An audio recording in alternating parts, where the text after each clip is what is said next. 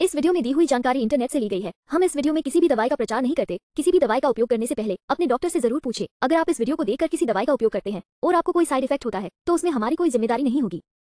मेसोग्लो S face wash gel त्वचा के pH संतुलन को बाधित किए बिना बेहतर पोषण के साथ साफ़ करता है। इसमें aloe vera tea tree oil glycolic acid और विटामिन ई होता है। ये प्राकृतिक तत्व त्वचा को चमकदार बनाते हैं और त्वचा पर मुहासों की उपस्थिति को कम करते हैं। चलिए जानते हैं इसके कुछ फायदों के बारे में। एक, त्वचा के रोम छिद्रों की गहराई तक सफ़ाई करता है।